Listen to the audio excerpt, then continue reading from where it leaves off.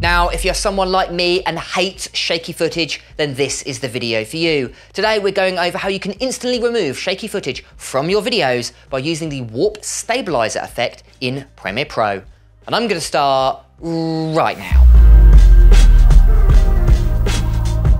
Right guys, to stabilize your footage inside Premiere Pro, firstly you want to go ahead and create a timeline. To make this nice and quick and simple, I've simply added one clip that's five seconds long. If I go ahead and play it back, you can see that there's a little bit of shake and a little bit of wobble to this video. I want to make it look nice and rock solid. To do that, all we need to do is add a warp stabilizer effect. So with our clip selected, go to the top right hand corner where you can find your effects panel and simply go ahead and type in warp. The one you want to add in is warp stabilizer.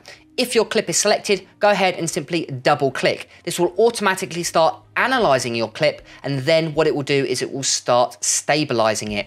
Now, straight out of the gate, it might not necessarily work. So we might want to go into our actual settings, our effects settings, to actually change it and customize it to get the most out of this tool. So as you can see, once it's added in, it's added in this odd yellowing effect and it still hasn't totally worked. So what we can do is go to our effects controls, go down to where it says stabilization, and we can change the type of stabilization we're adding in. So we can add in no motion or smooth motion. Every time you click, it will re-stabilize it. So, so it may take several seconds to do that. But if I go ahead to smooth motion, we can change the smoothness by going to this percentage slider here. I like dropping it down to around 25%, but it's depending on how much stabilization you want added to that clip.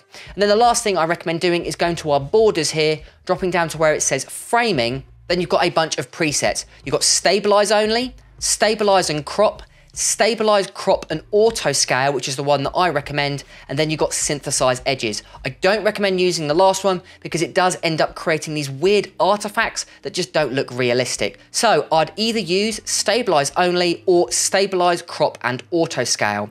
Now, once you've done that, if you go ahead and click play, you hopefully should see that your clip is nice and stable thanks to the warp stabilization tool.